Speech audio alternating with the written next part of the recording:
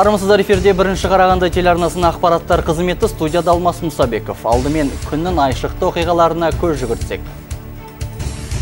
Қарағандыда облыстық аллергологиялық орталығы ашылды. Жоба мемлекеттік жекеменшік серіктестік бағдарламасы аясында жүзеге асырылды. Қарағанды экономикалық университетінде ғалымдар, тіл мамандары және журналистердің қатысуымен қазақ тілін латын графикасына көшіру тақырыбына арналған дөңгелек үстел жиыны өтті. Қазақстандықтарға сапалы заң қызметі көрсетілмеген жағдайда сақтандыру өтемақысы төленеді. Жаңа заңның жобасын Қарағандыға жұмыс сапарымен келген әділет министрінің орынбасары түсіндіріп берді.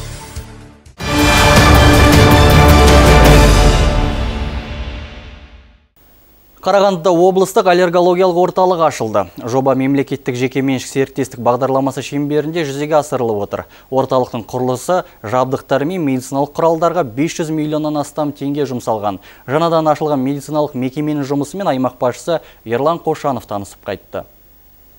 Қазақстанның әрбір үшінші тұрғыны түрлі аллергиядан зардап шегеді. Әсіресе еліміздің индустриалды жүрегі болып саналатын Қарағанды қаласында түрлі аллергиямен ауыратын адамдардың саны көп дейді мамандар. Дәрігерлер мамандандырылған аллергология орталығының ашылуына байланысты облысымыздағы тұрғындарға медициналық көмек көрсету жағдайы айтарлықтай жақсаратынына сенімді.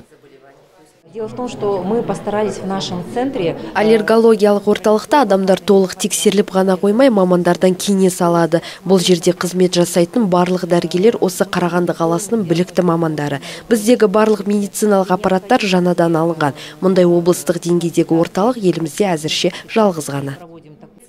Осы орталықтың бұрынғы аллергиялық аурулардың себебін анықтауға, сондай ақ емдеуге мүмкіндігі бар. Медициналық кешенде ересектерге және балаларға арналған дәрігерлер де бар. Қазіргі таңда бұл жерде 15-ке тарта маман қызмет жасауда. Олардың жұмысымен аймақ басшысы Ерлан Қошанов танысып бақылап қайтты. На данный момент действительно уникальность этого центра говорит о том, что мы сконцентрировали в работе данного центра самых знаменитых аллергологов области. И, конечно, отличительной особенностью этого центра является то, что на базе находится кафедра иммунологии и аллергологии Карагандинского государственного. Сондай ақ бұл жерде қарағанды мемлекеттік медицина университетінің аллергология және иммунология кафедрасы да бар. Ғылыми орталықта зерттеулер жүргізіп практика түрінде білімі мен біліктілігін шыңдауға мүмкіндік жасалған. Олимп медикал групп компаниясы орталықты құрылыс жабдықтармен және медициналық құралдармен қамтамасыз етуге 500 миллион жұмсаған. Орталықта барлық жағдай жасалған. Тіпті студенттерге практика түрінде сабақ жүргізетін орындарда қарастырылған. Бұл мекеменің толықтай шығынын біздің компания алады. Әрбір емделу бөлмесі заманауи құрал жабдықтармен қамтамасыз етілген. Осы жұмыстардың барлығына бір жылдай уақыт жұмсалды. Орталық облыс тұрғындар үшін ақылы және мемлекеттік тапсырыс бойынша қызмет көрсетеді. Болашақта орталықты тек облыстық ғана емес, аймақаралық деңгейде де өткізу жоспарланып отыр бұл қазақстанның басқа өңірлеріндегі тұрғындар аллергологиялық орталықтың қызметтерін пайдалану мүмкіндігіне ие болатындығын білдіреді. Айдар дәуренұлы сергей высокосов дастан шанин бірінші қарағанды телеарнасы. Ал 23 ақпан күні сағат 15.00-де кеншілердің мәдениет сарайында аймақ басшысы Ерлан Қошановтың облыс тұрғындар алдындағы есеп беру кездесуі өтеді. Барлық сұрақтармен, өтініштермен, ұсыныстармен және ескертулермен экранда көрсетілген байланыс құралдары арқылы жүгіне аласыздар. Атап айтқанда ағымдағы жылдың 12-сі мен 23 ақпан аралығында жедел желі телефоны жұмыс істейді. Ал 19 мен 22 ақпан аралығында Нүркен Әбдіров атындағы спорт комбинатында облыстық басқармалар өкілдерінің қатысуымен ашық есіктер күні өткізіледі. Сондай-ақ қалалар мен аудандарда өтініштер жинау үшін жәшіктер орнатылған. Қарағанды облысы әкімдігінің сайтында аймақ басшысының виртуалды қабылдау бөлмесі тұрақты негізде жұмыс істейді. 23 ақпанда облыс әкімінің есеп беру кездесуі облыстық телеарналарда интернет ресурс Қарағанды облысы әкімдігінің сайтында және әлеуметтік желілерде тікелей эфирден көрсетіледі.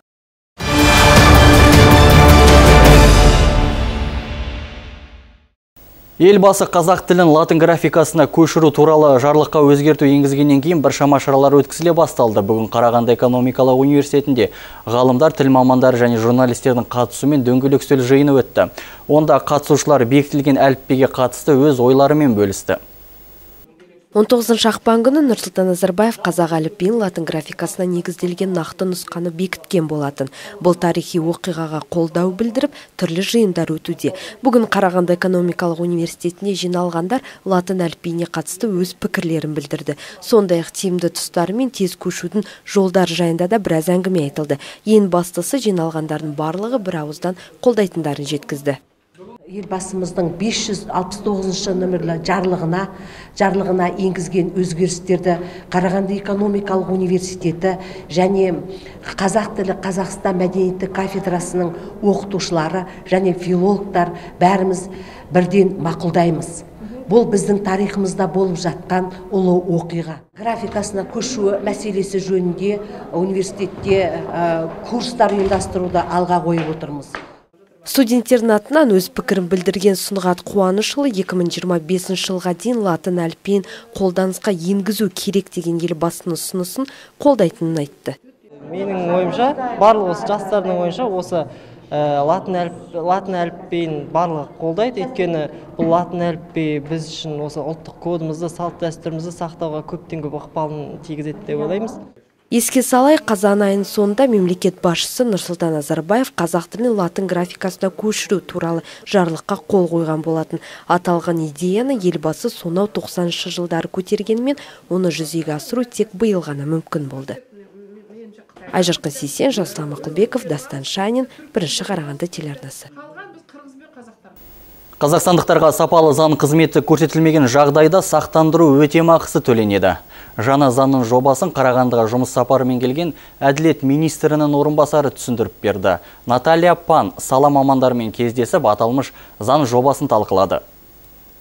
Елбасы сот жүйесіндегі реформаны қабылдау барысында еліміздегі қорғаушылар жұмысының әлсіздігін атап өткен. Осыған байланысты алдағы уақытта адвокаттық қызметтің сапасын көтеру мақсатында жаңа заң жобасы парламентте қаралып жатыр. Бұл құжатта қорғаушылық салаға кіру жарнасын алып тастау ұсынылған. Сонымен қатар аттестаттау жүйесі де жеңілдетілмек. Келешекте олардың сапалы заң көмегін көрсету үшін біліктілігін жоғарылату тетіктері қаралып жатыр. Оған қоса жас мамандарды да бұл қызметке тарту көзделген дейді вице-министр молодые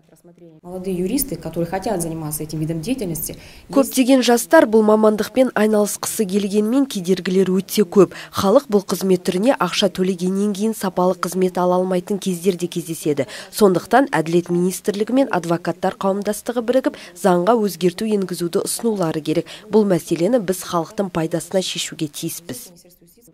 Мамандар қорғаушылық қызметті оңтайландыру және заң көмегін жедел жүзеге асыру үшін ақпараттық технологияларды енгізуді ұсынуда. Мемлекеттік цифрлы Қазақстан бағдарламасы аясында енді заң саласында да құқық бұзушылықтар азаяды деп күтіліп отыр. Сондай-ақ кейбір қағаз бетінде көрінбеген кемшіліктер электронды үлгіде жаппай халыққа айқын байқалады қазір біз үкіметтік заң жобасында әкімшілік процессуалдық кодекс жобасында көзделген жоспарды әзірлеп жатырмыз. Мысалы жер учаскесін сатып алсаңыз бірақ ол жерде жолдың бар екендігін басында байқамай кейіннен көрсеңіз әкімдікке қайта шағымдануға болады. Сіздің құқығыңыз бұзылған жағдайда іс соңына дейін қаралу керек. Заңгерлердің пікірінше жаңа заң жобасы аясында сыбайлас жемқорлықты жою және халыққа құқықтық қызмет көрсетудің қолжетімділігін арттыру мақсаты көзделген. Егер де заң саласына цифрландыру бағдарламасы және қорғаушылардың тың ұсыныстары енгізілсе, көптеген мәселелер шешімін таппақ. Жаңабек Нар, Жаслан Мақұлбеков, Дастан Шанин, бірінші Қарағанды телеарнасы.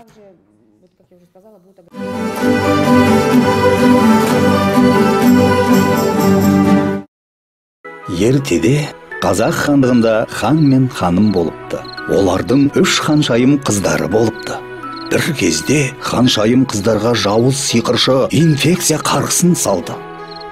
Бірақ хан мен ханым таңғажайып вакцина балаларын аурудан құтқаратынын білді.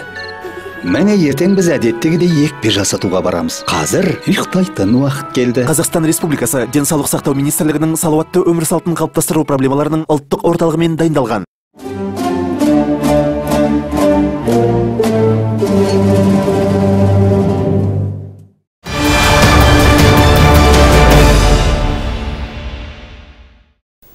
Академик Ебіне Арысанұлы Бөкетов атындағы Қарағанды мемлекеттік университетінде шапағат жетіндер үйіндегі бүлдіршіндерге қолда көрсету мақсатында шет тілдер факультетін ұйымдастырумен қайырымдылық кеш өтті. Аталмыш шараға көршілес Аспан асты елінің Шихензі университетінен оқуға келген студенттер де белсене ат салысты. Қайырымдылық шарасы көңілді әнмен өрбіп, келушілерге көтеріңкі көңіл күй сыйлады.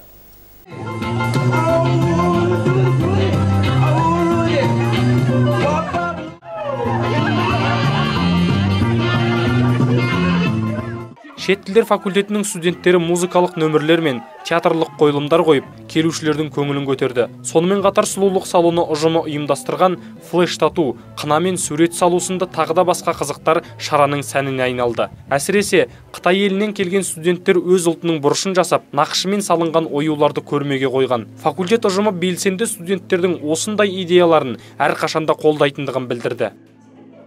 Біз осындай қайырымдылық кешін биылғы жылы бірінші рет ұйымдастырып отырмыз. Осы уақытқа дейін біз жетімдер үйлеріне көмек қолын созып келдік. Ал атқарылып жатқан шараның форматы ерекше. Себебі шараны ұйымдастырған студенттер және идеяның басым бөлігі соларға тиесілі. Аталып өткен түрлі сауық бағдарламаларды көрермендер ақша беріп тамашалады және студенттердің қолынан жасалған бұйымдар мен дәмді тағамдар сатылымға қойылды. Ұйымдастырушылардың айтуы бойынша жәрмеңкеден жиналған қаржыға шапағат балалар үйіне керекті заттар алынады. Біз балалар үйімен шапағат атты балалар үйімен байланыстамыз. Оларға барып оларға балаларға не керек екенін сұрастырып білген болатынбыз. Олар нөлден төрт жасқа дейінгі балаларға оқу әдістемелік кітапшаларын сұрады. Және де осы жиналған қаражатқа біз оларға оқулықтар әртүрлі кітапшалар алып беріп табыстаймыз.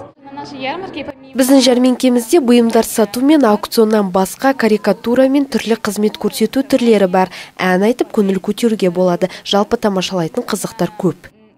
Бірнеше сағатқа жалғасқан қайырымдылық жәрмеңкесіне келушілер қатары көп болды. Қайырымды жандардың қаржысына алынған сыйлыққа қамқорлыққа зәру бүлдіршіндер қуанады деген сенімдеміз. Ерік нарын жасұлан мақұлбеков дастан шанин бірінші қараған телеарнасы. Қарағанды облыстық жоғары мейіргерлік колледжінің студенті мен оқытушылары халықаралық және республикалық конкурстардың жеңімпазы атанды. Байқау Қазақстан Республикасындағы мейіргерлік істі дамытудың кешенді жоспары аясында ұйымдастырылды. Осыған орай колледж қабырғасында жеңімпаздарды марапаттау рәсімі өтті төртінші курс студенті ирина салашенко халықаралық сайыста екінші орынға ие болды. Қостанай қаласында өткен байқауға қазақстан мен ресейден жиналған 11 үздік студенттер бақ сынасқан конкурс үш кезеңнен тұрады. Бірінші теориялық білімдерін бағалау бейнеролик ұсыну және төтенше жағдайда өзінің тәжірибесін көрсету. Аталған тапсырманы үздік орындап шыққан ирина мейіргер ісі мамандығы бойынша жүлдегер атанды.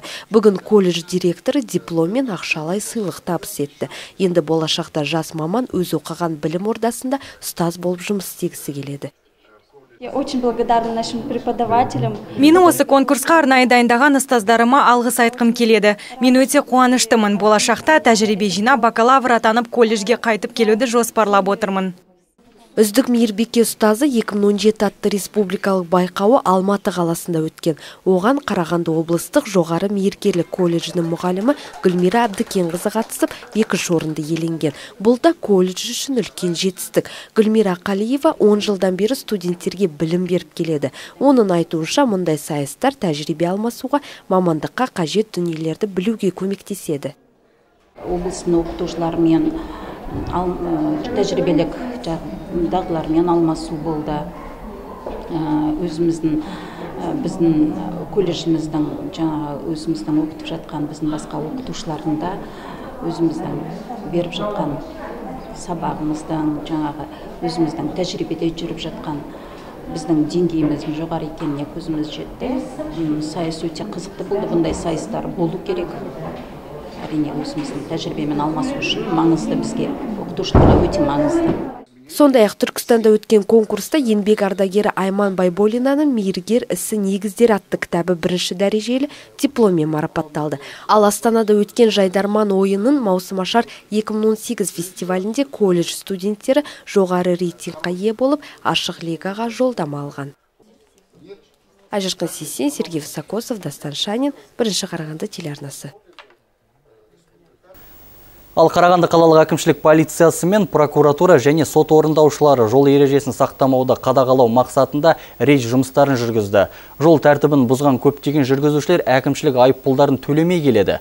Жауапсыз борышкерлерден айыппұлдарды өндіріп алу жұмыстары құқық қорғау органдарының бірлескен шаралары арқылы атқарылады. Қалалық әкімшілік полиция ақпанның 19 мен 21 аралығында борышкер жедел алдын алу шарасын ұйымдастырды. Тексеріс барысында 2400 артық айыппұл өндіріліп хаттама толтырылған. Нәтижесінде 15 миллион 600 мың теңгеден астам қаржы мемлекет бюджетіне қайтарылды. Ал жолдағы тәртіп бұзушылықты түсіретін фотоаппараттан түскен 100 дерек бойынша 600 мың теңге өндірілді. Борышкерлердің тоқтатылған автокөліктерін автотұраққа жөнелтіруіне және атқару құжаттарын орындалуын қамтамасыз ету шараларын толықтай қолдануына әрекет етіп жатырмыз. Жол ережесін сақтамағандарға және оны уақытында төлемегендерге 669 бап бойынша тиісті шаралар қолданылуда. Рейд кезінде тізімдегі айыппұл төлемегендердің автокөліктері тоқтатылды. Сондай ақ айыппұл төлемей мерзімі өтіп кеткен екі жүргізушінің автокөліктері арнайы тұрақтарға жіберілді. Жеті күннің ішінде айыппұлын төлегісі келген жүргізуші көрсетілген соманың елу пайызын ғана төлейді. Ал бұл уақыттан кейін төлемді толық төлеуі тиіс. Добровольная әркім өз еркімен 30 күннің ішінде әкімшілік айыппұлды өтеу керек. Сонда ешкімде кедергі кез болмайды. Бұл уақыт өткен соң сот орындаушылары тағайындаған атқару қызметінің санкциясы мен әкімшілік айыппұлды қоса төлеуге тура келеді. Әкімшілік жаза белгіленген борышкерлер айыппұлды кез келген банктен немесе халыққа қызмет көрсету орталығында электронды үкімет порталы арқылы төлей алады. Онда міндетті түрде адамның жеке куәлігі қажет. Ал төленген түбіртекті тұрғылықты полиция бөліміне өткізу керек. Жаңабек нар дастан шанин бірінші қарағанды телеарнасы.